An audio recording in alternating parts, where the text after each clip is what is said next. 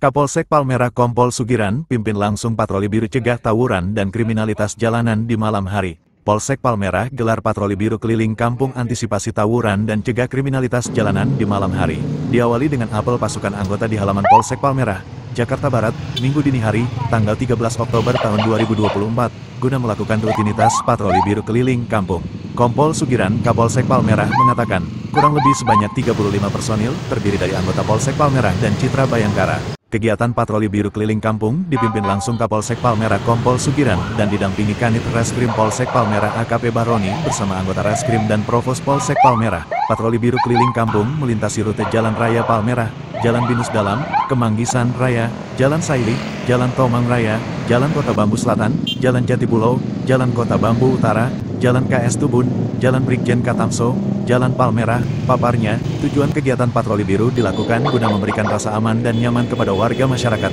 khususnya warga Palmerah, Jakarta Barat, ungkap Kompol Sugiran. Selain itu, untuk mengantisipasi aksi tawuran remaja dan mencegah tindak kriminalitas kejahatan jalanan di malam hari, ucapnya, kegiatan patroli biru juga mendatangi tokoh masyarakat yang berada di wilayah Kelurahan Kota Bambu Utara guna mempererat hubungan antara Polri dengan tokoh masyarakat untuk memperkuat wilayah agar selalu tetap aman dan kondusif menghimbau kepada seluruh masyarakat khususnya orang tua yang memiliki anak remaja hendaknya selalu diperhatikan saat anak remaja beraktivitas di malam hari, karena jangan sampai anak remajanya menjadi korban tawuran ataupun pelaku tawuran, karena perbuatan itu sangat merugikan masa depan anaknya. Dari Palmerah, Jakarta Barat, Effendi Ses melaporkan.